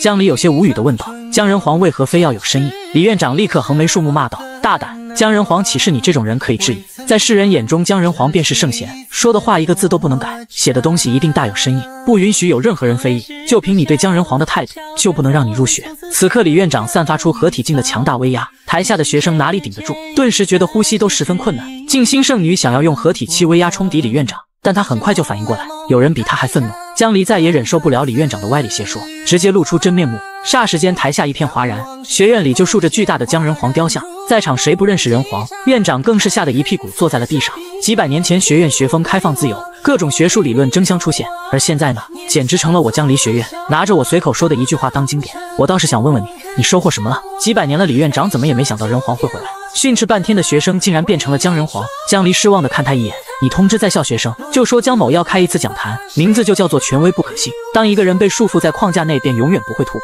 只有不停推翻权威的世界，才能获得进步。静心圣女见江离一直闷闷不乐，便安慰道：“不就是输给我一个条件吗？我不会让你做什么坏事的。”而江离只是为自己的自大而失去一个找到仙界的机会而叹息。难道你又找到了什么线索？静心圣女不由想到江离因寻找仙界而干出的种种出格事情，例如听说集齐龙珠就能连接仙界。江离便找四海龙王借来龙珠，结果把龙珠盘的发光，也没见通往仙界的通道。难不成七颗龙珠才行？而后他又听说冰姐成仙，便丝毫不抵抗，任由天劫轰击。结果直到天劫哑火了，他都没有受伤。不知道这回又听到什么成仙的传闻。就在静心疑惑时，突然一道通讯符又不受江离控制的响起。喂喂喂，江离在不在？滚！不在。江离没好气的骂了一句。道宗宗主瞥了江离一眼。我找江人皇呢，你一个道宗行走插什么嘴？江离见这家伙越来越没大没小，便教育道：“你要是还想让我去你们道宗的仙气鉴赏大会，就最好对我恭敬点。”此话一出，道宗宗主立即换上一副谄媚的脸。江哥，瞧您说的，我这不是特意来通知您来了吗？据我推测，阴阳天印再有二十天就能自炼一转。您代表人皇殿，静心圣女代表红尘净土，您看如何？江离就知道这小子不是吃亏的主。临走之时，发现他果然把手背在后面竖着一根中指，因为阴阳天印自恋一转。这可是几千年都碰不到的事情。道宗宗主不愁江离不来，还有十几天时间，你准备怎么去道宗？静心圣女好不容易见到江离，自然不会傻乎乎的说飞过去。别说江离全力飞行，就算是他也只用半天就能到道宗。坐非洲过去吧。好久没过坐非洲，江离点点头。好，那我先飞过去了。钢铁直男差点把圣女气昏过去。我一介弱女子一人乘非洲，你就不担心我遇到什么危险吗？江离想了半天也没想明白，堂堂合体后期和弱女子有什么关系？至于遇到危险，大概也只有域外天魔能威胁到他了。看来他是担心自己遇到域外天魔的袭击。江离对静心圣女的谨慎很欣慰。虽然静心圣女担心的事情微乎其微，但江离也不忍心把她好不容易才有的谨慎之心掐灭，也就同意和她一起乘非洲。两人伪装身份后坐上非洲，途经号称土匪皇朝的白泽皇朝。因为现任的白泽皇是白泽和麒麟的混血，而妖兽只认精纯的血统。八位妖王不服白泽皇，便各自划出一片地。如今沦为土匪窝也不足为奇。非洲经过时，一声英明从非洲下方传来，可还没等鹰妖装逼，便被干翻在地。而出手者并不是江离，是一位叫物质的佛子。据说物质乃是佛陀转世，一出生就把一座小镇化为佛土，就连他的父母也顶礼膜拜，皈依佛门。须弥老佛听后，立即赶来将其收为关门弟子，又钦定其为佛子。也正是因为他是佛陀转世，十四岁就已经成就了元婴。要知道，江离在十四岁的时候可还没穿越过来。身为人皇的江离一眼就看出物质佛子的灵魂异常强大，虽然还是元婴期的灵魂，但灵魂却有万千劫难磨练的痕迹。要知道，一般人轮回转世，灵魂便会痕迹全消，成为新人。这小和尚只可能是前世过于强大，从而影响到今生。这时，江离似乎想到了什么，于是面色古怪地对静心说道：“这小和尚极有可能是你师公。”此话一出，静心圣女人都傻了。江离疑惑地问道：“你师父青玉道姑的事情，你不知道吗？”见静心圣女一时半会儿接受不了这则消息，江离也没再多说什么。因为即便身为人皇的他，对转世也不太明白。自己活了五百年都没搞清楚自己是穿越还是觉醒了前世记忆。但这个小和尚应该是那人没错。而佛子身旁的那名儒生名叫王辩，则是儒宗行走。虽然年纪不大，却已经是七个国家的国师，就连化神期的儒生都要向他请教儒道问题。两人跟江离一样。都是要去仙气鉴赏大会开开眼界。面对阴妖来袭，两人几乎异口同声说道：“阴施主，请放下屠刀，立地成成佛。烧杀抢掠并非君子所为。”可阴妖对两人的劝说充耳不闻，你们两人的教化只能对金丹以下的有用，老子可是元婴境大妖。两人共同叹了口气。小和尚从怀中拿出佛门至宝梵天塔，下一秒狠狠砸向鹰妖。这梵天塔不过巴掌大小，可鹰妖仅是被擦到个边就被撞到吐血。而王辩则抛出一张字帖，字帖上写着一个定字。鹰妖还没反应过来就被抓住了。王辩有些为难的说道：“这老动用武力也不利于心境。”听得鹰妖欲哭无泪。那你别动武啊！物质小和尚也同样为难，对方不听劝能怎么办？要不咱们再劝劝他。于是两人把定起来的鹰妖放在面前，一人在左侧念经，一人在右侧讲人。此时鹰妖受两人摧残，他感觉自己时而一心向佛。时而一身正气，精神都快分裂了。这特么到底是佛门儒教还是邪教？有这么强行改变别人思想的吗？而传客中有人见识不凡，认出物质佛子和王辩方才所用的宝物，难不成是仿制的梵天塔和大儒字帖？梵天塔乃是佛门的镇脉至宝，就算是渡劫期修士也不敢应接。更有传言说其有破开空间之能。而大儒字帖虽不及梵天塔的地位，却也是儒教持有的正儿八经的仙器。在九州把宝物分为四重，一重是灵器，基本上每个筑基修士都能人手一件；二重是法器，元婴修士倾半数家产也能买得起。三重是道器，几乎只有皇室与合体境修士才能拿得出来。四重自然是仙器，九州之中无人可以锻造仙器。现有的仙器，除去阴阳天印是道祖在飞升之前炼制的，其余都是曾经的仙人从仙界带到九州的，只有寥寥几件。而仙器中最出名的，自然就是道宗的阴阳天印、佛门的梵天塔以及儒教的大儒字帖。所有人都认为佛门和儒教是不会让自家小辈带出来的，只是给了他们仿品护身。而静心圣女却十分疑惑，因为她也有一件道器，名为十二品青莲。所以他对道器还是比较了解的。他总觉得梵天塔不像是道器。他把目光投向江离，寻求解答。江离点了点头：“你没看错，这梵天塔是真正的梵天塔。没想到须弥老佛这么重视这个新佛子，连这种东西都敢让他带出来。其实传客们也只是从常识考虑。”随后，江离叹了口气：“怎么现在年纪轻轻的人就这么依赖宝物？不只是这两人，几乎所有修士一样，倾家荡产也要买一件宝物。”静心圣女支支吾吾辩解道：“那是因为宝物真的很好用，你哪能要求大家都像你一样？”把仙气放到蒙灰都不用。江离还想说些什么，但看静心圣女委屈巴巴的样子，没再说下去。就在两人聊天之时，突然发现传客们已经分为了两队，一堆在物质佛子身后的人，他们觉得此生罪恶，竟要把钱财拿出来供给佛子，求来世投个好胎；另一堆在王变身后，他们对家国情怀有更深一层的体悟，发誓回去后一定要为国家或宗门鞠躬尽瘁，死而后已。静心圣女从没见过这种情况，觉得有些恐怖。在她印象中，佛门和儒教没这么邪门啊，还强制洗脑。两人为了暗自较量谁先把大妖感化，竟不知不觉将周围的普通人全部洗脑。而静心圣女从没见过这种情况，她认为强行改变别人思想与要挟无异。好在江离见多识广，知道这在佛门和儒教是常有的事情，不过还是要管一管。如果法偏正统，就有可能入魔。曾经就有一位佛门高僧沉浸在经文中，边走边朗读经文，结果一不小心洗脑一个小镇的信徒。高僧最后走在东海海面上，那群人也跟在后面，但因为不会游泳，都被淹死在东海。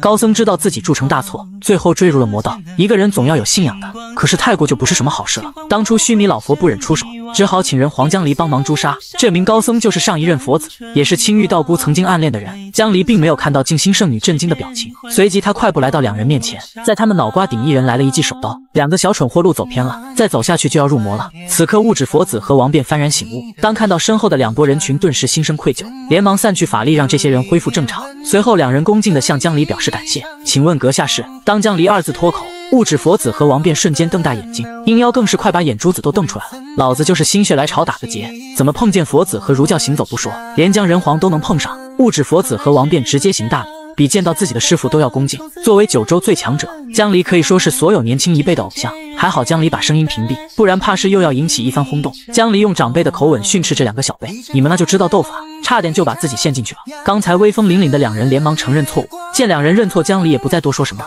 怎么你们宗门只让两个小辈去参加道宗的仙气鉴赏大会？你们的师傅呢？物质佛子告诉他，师傅正参悟空间之道，处在关键时期，不能分神，便让他来了。而王便犹豫了一下，还是硬着头皮说道：“我师傅说他看见道宗宗主就来气，所以就让我带他去了。”这时江离突然想到那个有趣的故事，当时儒教教主支持性善论，费尽心思把一个国家的人教导成人人君子。拾金不昧，可到宗宗主却认为人性贪婪，于是就掏出一大把极品灵石丢在路边。原本那些彬彬有礼的君子，果然开始哄抢，气得儒教教主脸色铁青。王便随后小声的说道：“其实我师傅他也想见见仙气自恋，我只是表面代表他去，暗地里他自己已经偷着去了。”江离直接无语到翻白眼：“你师傅不怕他那颗浩然正气的道心崩开吗？”十多日后，非洲终于在道宗附近降落，几人一下非洲就收到道宗宗主亲切的接待，旁边还站着一脸羞耻的儒教教主。看来是被抓住了。王辩此刻脸色通红，他只想待在非洲不下去了。我代表道宗上下欢迎江人皇来道宗参加仙气鉴赏大会。道宗宗主大笑着给江离来了个拥抱，江离也笑着轻轻拍打他的后背。道宗宗主强忍着一脸微笑不喊疼，随后他又调侃了静心圣女：多年未见，你还是与江人皇这么亲密。静心圣女努力抿嘴微笑，差点没当场动手。在回大殿的途中，江离询问他九州护界大阵研究的怎么样了。白宏图苦着个脸抱怨道：一来就问这种糟心的问题。为了研究护界大阵，我头发都快掉光了。江离笑着说道：“那好办呀，渡劫期都能滴血重生，要不我帮你打的只剩下一滴血，让你重生，头发不就长出来了？特么地主都没你狠。”白宏图骂骂咧咧告诉他，已经把护界大阵研究出来了，现在就差一件仙器当阵眼。九州护界大阵是江离很早之前的构想，因为域外天魔是从其他世界过来，九州每百年都会受到袭击，而且每次几乎都是灭顶之灾，历代人皇首当其冲，拼命厮杀，少有善终的。这种情况直到江离出现，才彻底逆转了这个局势。可江离怕自己离开后又如曾经一样，所以想为后世留下护界大阵。而九州护界大阵的存在，只需要拦截天魔几刻钟，江离便有信心赶到破阵点击杀天魔。不过此阵难点有二。一是需要一直维持这个大阵，要耗费海量灵气。江离便召集六大宗门、九大皇朝，让他们轮流提供六位合体期修士，人皇殿提供两位合体期修士，共计八位修士不断运送灵气维持大阵。别看六大宗门和九大皇朝在九州强大，但其实也就只有红尘净土的护宗大阵有把握能抵挡住域外天魔，而他们谁也不愿意被突然冒出来的天魔杀死，于是便同意了江离的提议。二是这个阵法实在太大，从来没有哪个阵能囊括九州，而且这并不是简单的把阵法放大。还要考虑地势、灵力运送、中转等问题，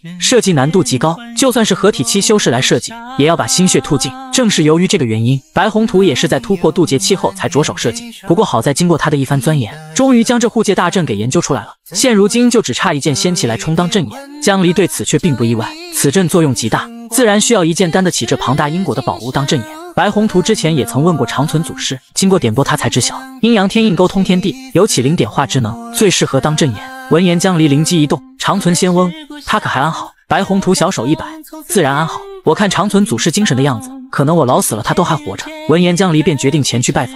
而静心圣女在听到老者的名号时，也是颇为神往，于是便决定跟随江离一同前往。闻言，白宏图嘻嘻一笑，反正长存师祖喜欢热闹，他巴不得人多一些。我还要为仙气鉴赏大会做些准备，你们自己去吧。在去风脊洞的路上，静心圣女率先问道：“长存仙翁真的是九州年龄最大的人吗？真的是仙人吗？”江离很快便给了他肯定的回答：“确实是仙人。至于年龄问题，这就要看你们红尘师祖到底多大了。除去不确定的红尘仙子，他确实是最老的人。我怀疑他是道祖的徒弟，但他一直不承认。还没有成为人皇之时，江离就多次向长存仙翁请教问题，对这位老人家十分敬重。静心圣女微微惊讶：如果真是道祖的徒弟，那最起码也是五万年前的人。如果是真的，那长存仙翁可还真如他的名号一样，长存久世，长生不死啊！合体期修士能活两三千岁，漫长的一生能见证不知多少势力兴衰败亡。而长存仙翁却能见证不知多少合体期修士的成长与寿终正寝。当九州与仙界上有联系时，很多仙人都曾到访九州，但都不过几百年便重返仙界。只有长存仙翁一人，其乃九州本土人。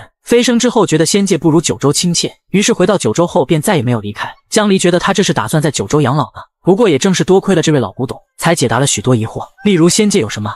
如何成仙？渡劫期之上，原来不只是成仙等等，而且在历代人皇都挡不住域外天魔的时候，长存仙翁也出手相助，击杀了天魔。但长存仙翁出手的次数不能多，成为仙人后，一身灵气会尽数转化为仙力，如此才能支撑仙人之体。而仙力只有仙界才有，仙人下凡后，体内的仙力用一点少一点。要是能去找隔壁的韩厥要一棵扶桑树，一切也就好说了。而长存仙翁下凡后，打算仙力不够用了就去仙界补充，反正他可以自由往返仙界。谁想到成仙天梯出了问题，去不了仙界，这可就麻烦了。一旦他把自己的仙力用完，那自己的身体就要崩溃，经历天人五衰而死。所以一般情况下，他都尽可能的不出手。说话间，二人已经来到了风脊洞。江离在石门前喊了一嗓子：“仙翁在不在？我又带着问题来找你了。”话音刚落，那石门便自动打开，紧接着一间屋子便出现在二人面前。此时长存仙翁侧坐于桌前，你小子每次回来一定有问题，就不能单纯的来看看我老人家吗？而这位仙人在静心圣女看来就像是个随处可见的老人，这是气血收敛到极致的表现。长存仙翁看着被尊为江人皇的江离，心中感慨：谁能想到当初只是元婴期的小娃娃，如今已经这般深不可测。身为仙人，他竟也看不出江离究竟有多强。我这老古董如今也就只是给你答疑解惑罢了。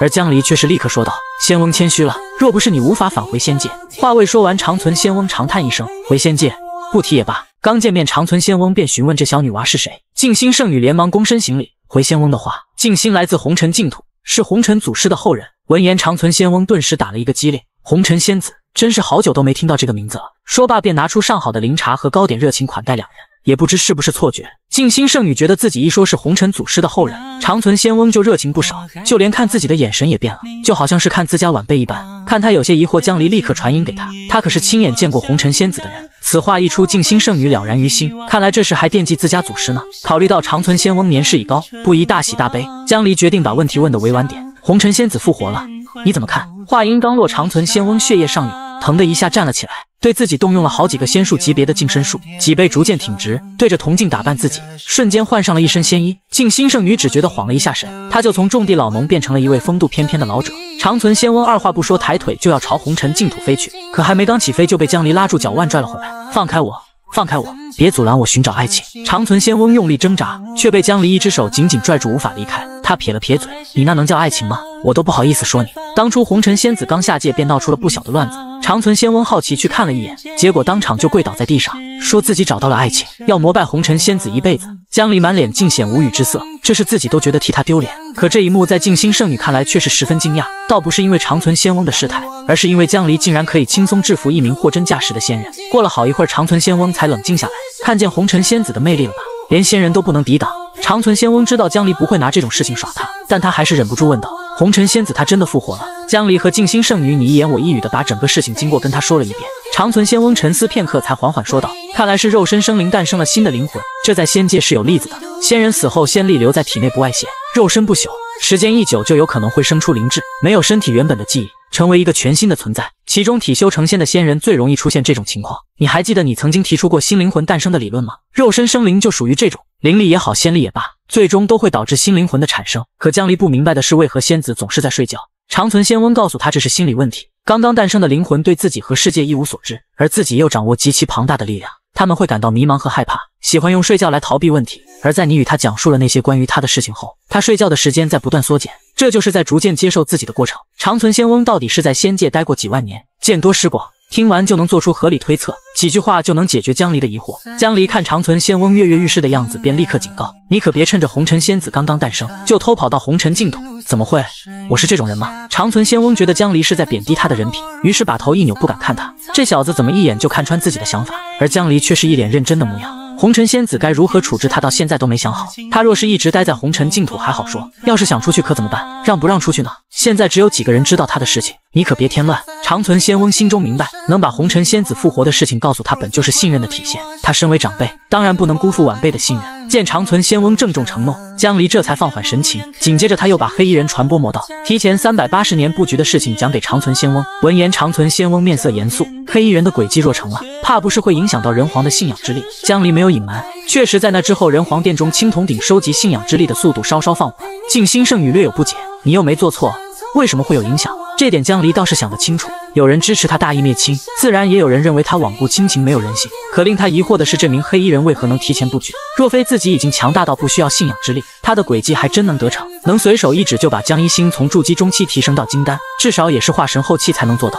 而且那时候江一星天赋一般，也没有势力，谁会闲得给他传播魔道？比起说这是偶然有人传播魔道给江一星，他更偏向于认为这是一场针对他，或者说是针对人皇的阴谋。长存仙翁拂须不语。过了一会，才徐徐说道：“要么是有人通过时间之道看到你的未来，要么是有人精通元法或望气术，看出你与人皇之位有缘，或者望出你有人皇气。而这时间之道并非大周皇室独有，说不定就有哪位隐修习的时间之道。”江离对元法和望气术有些陌生。长存仙翁继续说道：“你不知道也正常，元法讲究缘分，命里有时终须有，命里无时莫强求。望气术认为每个人头顶都有一股气，气的颜色不同，取得的成就也不同。而这些东西都是失传已久的修炼法门，保不齐哪座破庙或破道观里就有遗留下的修行法，偶然被人所得。虽然得到线索，但江离却不知该从何处查找。静心圣女也是有些不解，她不明白为什么会有人破坏人皇的信仰。”难道说人皇变弱对黑衣人有利？那请问谁来抵挡域外天魔？这是一个很简单的道理，但江离和长存仙翁却都忽视了这一点。此刻被静心圣女无意点醒，这才幡然醒悟。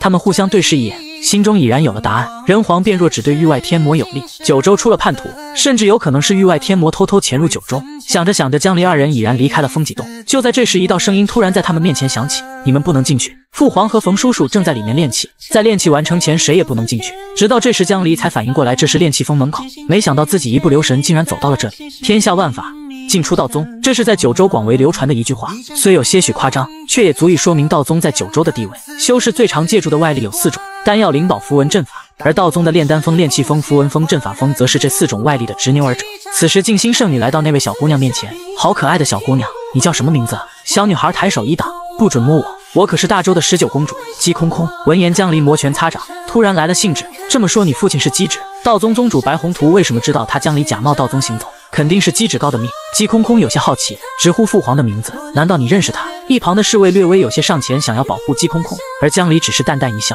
不要这么紧张嘛，毕竟我和你们圣上也是老朋友了。闻言，护卫赶忙躬身行礼。周皇护卫拜见江人皇。姬空空顿时张大嘴巴，叔叔您就是江人皇？我听父皇说过你的故事。父皇说您是九州的大英雄，在世真仙。父皇还跟我讲过您成为人皇的过程，讲过您守护九州，和父皇一起大战域外天魔。闻言，江离大笑，想不到姬止是这样看我的。行吧，一会儿揍他的时候下手轻一点。静心圣女颇为不解，姬止不是不会炼气吗？去炼气峰干什么？可江离却告诉他，可别忘了姬止的重瞳，这可是对炼气大有帮助。炼气峰内。机指和炼气峰峰主对头研究炼气过程，要是在半个时辰后增加一成火力，如何？能成功吗？机指那双重瞳变得深邃而神秘，似乎能洞察一切。不行，这样一刻钟后便会炸炉。那把天山净水改成雪山净水如何？可他却说这样爆炸的更大。两人反复推演，终于敲定成功的过程。可就在这时，机指的脸色突然变得难看起来，因为他已经成功看到自己一会儿出门会被人打一顿。炼气峰峰主也有些好奇，不过既然机指能看到未来。那就可以规避。机指眼神越发肯定，这人是江离。炼气峰峰主沉默了一会，不用问，机指是有名的碎嘴，指不定是哪句话招惹到江离了。他一把抓住机指的手腕，我去炼丹峰找一枚大还丹，实在不行我再赶失踪也有朋友。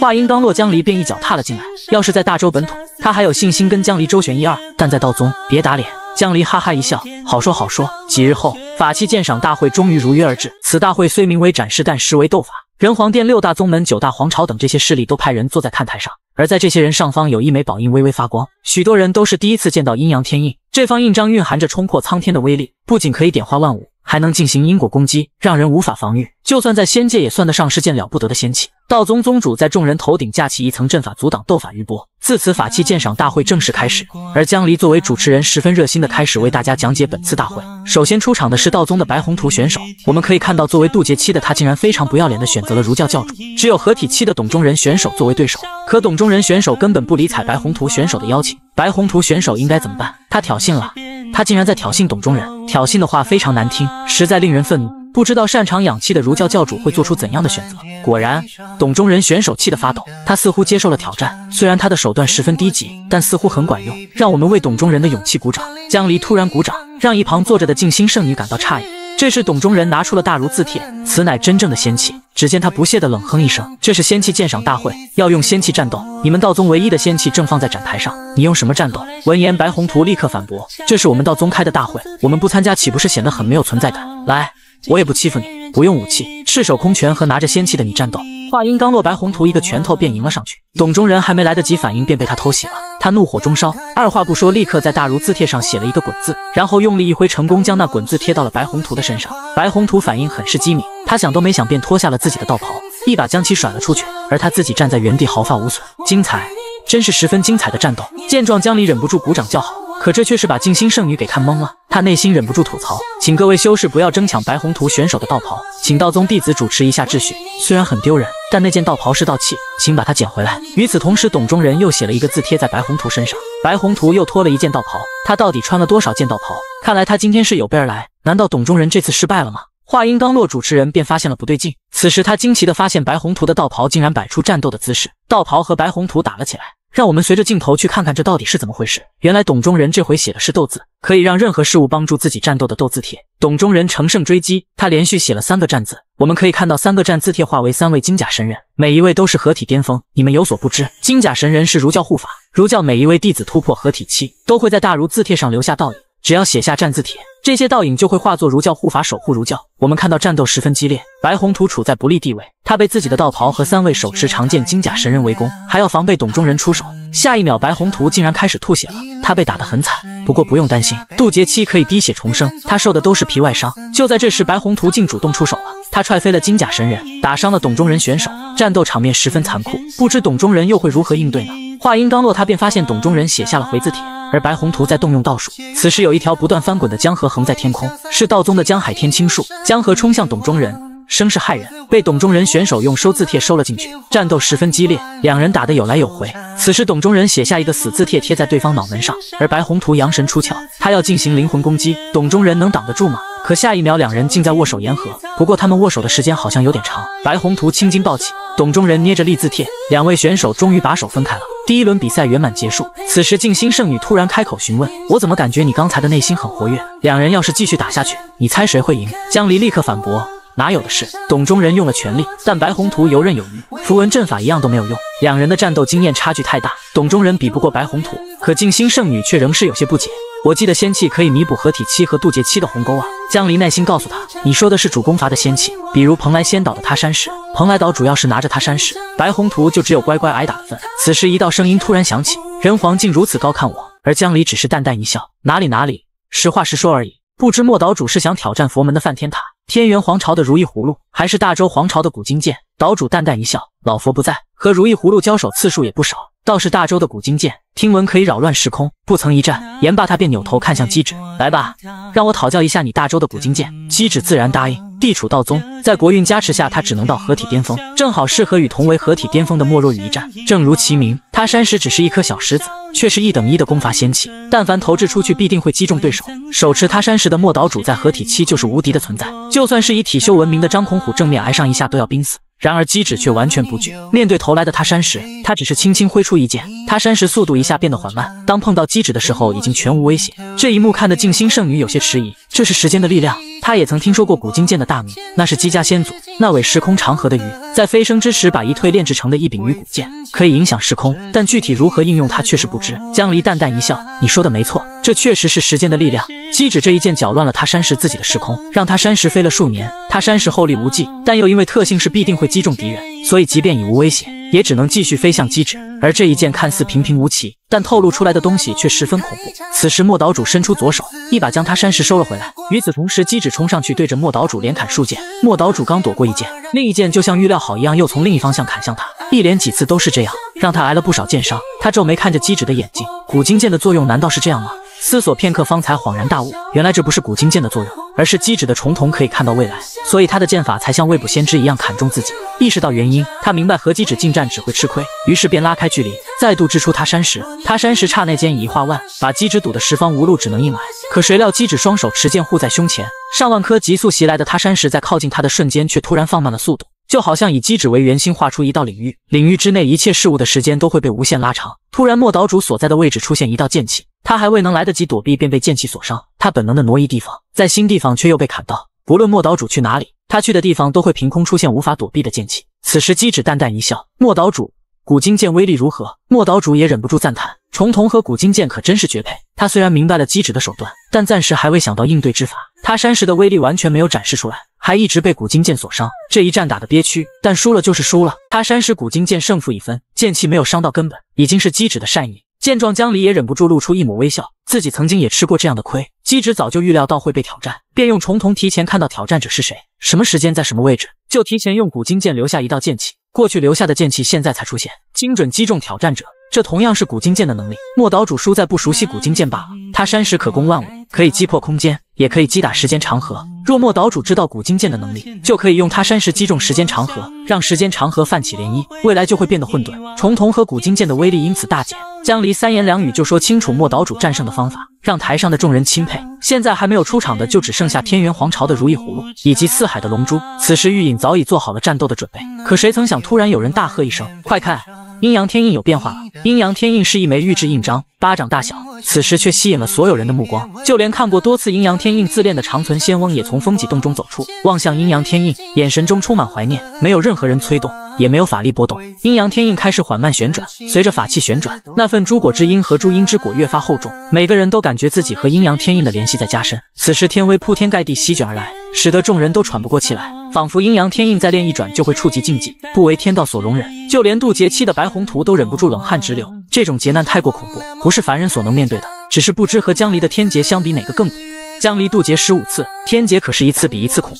他偷瞄江离，发现对方正兴致勃勃地观看仙气劫难，全然没有影响。他有心想问这劫难如何，但在天威之下难以张口。此时，一道声音突然在众人耳边响起：“是地水火风四劫难。”长存仙翁面色凝重，缓缓说道：“仙界有一种说法，认为世界是由这四种元素构成的。这四大劫难可以创世，也可灭世，极度恐怖。而此时阴阳天印正在被这四重劫难洗礼，逐渐变得通透，仿佛在新生。火劫难中一滴火星溅射出来，把不远处的一座大山烧成玻璃；水劫难中一滴水滴落，砸出一个深不见底的大坑，仿佛一直通到九州背面。仅是这一丢丢露出，就足以毁天灭地。随着阴阳天印旋转速度逐渐放缓，透明度也在提升，四重劫难更是卯足力气要把天印摧毁。道祖精彩艳艳，炼制的阴阳天印更是不凡。据长存仙翁所言，所有的仙器都要经过主人的炼制才能提升自己，只有阴阳天印一个特例，可以自行炼制。在这恐怖的劫难中，阴阳天印不断提升自己，最终它停止旋转，通体化为水晶质感，完美无瑕，不沾世间尘埃。阴阳天印轻轻晃动，把四重劫难击碎。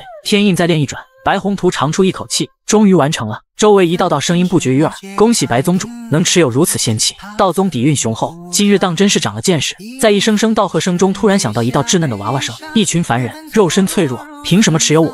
白宏图面色凝重，左右摆动，却找不到声音来源。而江离却是仰头望天，在上面倒是有个机灵的。奶声奶气的声音充满嘲笑，连江离都不放在眼里。然而众人却无人在意他说了什么，因为他会说话本就难以置信。道宗宗主也面色凝重，望向阴阳天印，他可从来没有听说过有宝物会说话的，就算是仙器也没听说过。此时阴阳天印在空中翻了个跟头，仿佛是在庆祝自己的诞生。长存仙翁来到看台，如临大敌。天印一共历经八次自炼，刚才正是第九次。仙气九炼可以产生灵智，他本以为是传说，却不曾想竟是真的。长存仙翁心中明白，若阴阳天印不生灵智，那他就只是道祖的武器；若生出灵智，他便是道祖的徒弟。而长存仙翁虽是九州最古老的人，却也是道祖最小的弟子。论辈分，他算是阴阳天印的师弟。此时他率先开口说道：“天印师兄诞生灵智，可喜可贺。不知今后有何打算？若不嫌弃，不妨来道宗一座。”长存仙翁对阴阳天印的态度十分客气。一件有灵智的仙器有多强，他根本无法想象。而阴阳天印却是晃晃身子，仿佛是在摇头。师弟的好意心领了。但我现在只想做一件事。阴阳天印的声音突然变大，传遍九州，给予天下灵宝自由，建立灵宝皇朝。人类何其残忍，拿着我们灵宝互相残杀。你们人族凭什么拥有我们？我们灵宝是自由的。话音刚落，众人便感觉自己的灵宝在躁动。众灵宝听令：天下灵气，天下法器，天下仙气，道外奇兵，我代天而行，给予你们灵智与自由。阴阳天印犹如灵宝之王，号令九州灵宝。随着他一道道命令之下，灵宝纷纷生出灵智，灵气、法器、道器也就罢了。就连仙气都产生灵智，阴阳天印竟然可以赋予和自己同等级的宝物灵智。阴阳天印点化万物，诸阴之果，诸果之阴，乃是九州第一至宝。众人这才真正认识到阴阳天印的诸多能力。此时灵宝们也纷纷抗议起来。大哥说的对，我们高贵的仙气凭什么被人使用？每次战斗都在我身上写写画画，真是令人厌恶。我们仙气要建立自己的皇朝。见状，有些主人想要用武力镇压，却发现自己根本打不过自己的武器，反被武器镇压。只有少数人可以强行控制住自己的武器，例如静心圣女镇压了道气十二品青莲，白宏图镇压了自己的两件道气级别的道袍。就算白宏图再自大，认为自己是九州第二天才，他也不认为自己能战胜一件拥有灵智的仙器。不论是合体期还是渡劫期，都不能发挥仙器真正的能力，只有仙人才可以。而现在要再加一种情况，仙器自己也能，他连一件仙器都打不过，更不要说有七件。此时阴阳天印沉声问道：“道外奇兵何在？”他能察觉得出九州有一件道外奇兵，自己已经给予他灵智，然而对方根本没有出现。而所谓的道外奇兵，是指那些不在品级却有特殊能力的武器。长存仙翁知道九州却有一件道外奇兵，那便是江离的天荒戟。江离曾偶然间撕碎空间，在虚空中找到的一块金属，无惧罡风乱流影响。质地坚硬，他带回来交给道宗炼气风，炼气风炼废了七个炉子，才把这块金属炼成戟的形状。江离给他取名天荒。此时阴阳天印依旧不停地呼喊着道外骑兵，而天荒戟只是在江离的储物戒中动了一下，抖掉身上的灰尘，翻了个身，继续躺平。自由睡觉，他不香吗？看着道外骑兵根本没反应，阴阳天印瞬间怒火中烧，一定是你囚禁了我们的同胞。话音刚落，江离纵身一跃，长存仙翁赶忙阻止，但并未来得及。江离，别和他硬拼，你打不过他。说话间，江离已然来到了阴阳天印面前，而长存仙翁更是为他捏了把汗。这可是仙器，不说各自的能力，炼制他们的可都是万劫不不坏的材质。开什么玩笑？江离再强又如何？然而让所有人目瞪口呆的是，被打飞的竟然是阴阳天印。阴阳天印连续撞他七八座山峰，才将将稳住身体，而他更是被这一拳打出缺口。阴阳天印失去一角，何止是人们目瞪口呆，就连其他仙气都被这一幕所惊到。他们仿佛天生就能爆粗口，这尼玛还是人？看着那群仙气一个个嚣张的模样，江离心中明白，今日之乱一定要用铁血手段迅速镇压，否则整个九州都要被灵宝统治。姬芷虽有心想要动用重瞳帮助江离，但有古今剑在，他根本看不到未来。就在这时，他山石率先开口说道：“他是人皇，九州最强之人，战胜他，我们就可以建立自己的皇朝。其他仙气也都知道，这个人皇才是他们最大的障碍，只有打败他，后面的事情才可能实现。至于那些道气……”都乖乖等着仙气大哥们去战胜江人皇，自己并没有冲上去帮忙。虽然他们道气也很强大，但连仙气阴阳天印都被打出缺角，他们要是上去，怕是要被一拳打回原材料。他山石话音刚落，便猛地冲江离袭来。江离正要摆好姿势抵挡，却见他山石突然出现在自己背后，犹如一颗大星撞击九州。江离被他山石打了个措手不及，产生的震荡波直接把下方的众人震倒，灵台都在晃动，可想而知江离受到的这一击有多重。而此时的江离就像是个没事人一样。不错，知道利用梵天塔的空间之能做空间跳跃。反观他山石却是在他手中使劲挣扎，他确实打中了江离，然而江离反身就把这颗小石子捏在手里。他山石必定可以命中敌人，那首先也要扔出去才行。可他现在动弹不得，何谈命中？见状，那大如字帖也立刻做出行动。刹那间，三个定字帖出现在江离身上。面对如此形势，江离颇为不屑，这是想让我也动不了。然而下一秒，他便一气化三清，随手又变出来两个自己。不被控制的两人随手便接下字帖，根本毫无压力。紧接着，古金剑消失在现实，横立在时间长河之上。想要看到未来的江离会如何行动。然而他在未来的一滴水中看到了江离，江离也看到了他。那时候的江离已经手持天荒戟和众仙气交战，他察觉到有人在看他，抬头正对上古金剑的视线。未来的江离一戟挥出，划破时空，把古金剑击落。古金剑掉在时间长河中，顺流而下回到过去。在时间长河中，他逐渐长出血肉，再度变为一尾鱼。他隐隐觉得自己会在未来的某一刻回到岸上。其他仙气不知道古金剑去了哪里，还以为这家伙跑路了，一边应对江离的攻击，一边心中破口大骂猪队友。他们在灵智诞生前也有隐隐的知觉，知道江离很强，然而一交手才发现。这人皇简直强的离谱，要不是他是人族，他们简直要怀疑他是人形仙气成精。如意葫芦可以随着使用者心意找来各种劫难，雷劫可以，地水火风四劫可以，心魔劫也可以。他本该是让敌人疲于应对，然而他面对江离简直都要疯掉。面对雷劫，江离根本不在意，劫云中的天雷才是最浓郁的地方，一拳就把劫云轰散。这可是犹如天威的不可力敌混元仙凡雷，更别提地火风水劫和心魔劫了，在他身上根本看不到半点成效。与此同时，大如自帖招来四名儒教护法。手持四枚龙珠，形成攻防一体的强大防御，围困三名江离。此时江离面色凝重，虽然他对自己的实力很有信心，但仙气的攻击神秘莫测，他也没有必胜的把握。他真身拿出天荒戟，一具化身手持长剑，施展心剑，欲要斩灭仙气念头。一句化身术法交融。佛道如三术层出不穷，白宏图一瞬间仿佛又看到合体期的江离。那时的他还未成人皇，然而一身法术真至化境，肉身强度不可思议，武器花样防不胜防，横扫同境界之人。那时的他还没有趁手的武器就已经如此强大。如今他手持天荒戟，白宏图已经无法知晓如今的江离有多强大。若说当今谁可以平定仙气之乱，我觉得非江离莫属。